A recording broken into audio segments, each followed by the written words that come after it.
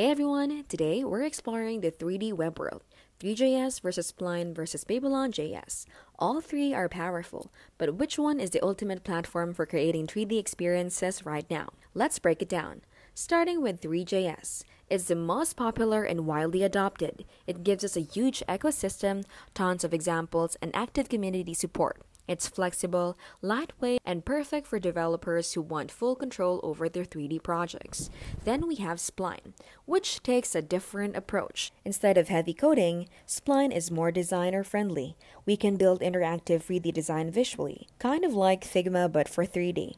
If we're into prototyping quickly or creating web experiences without writing too much code, Spline is a game changer.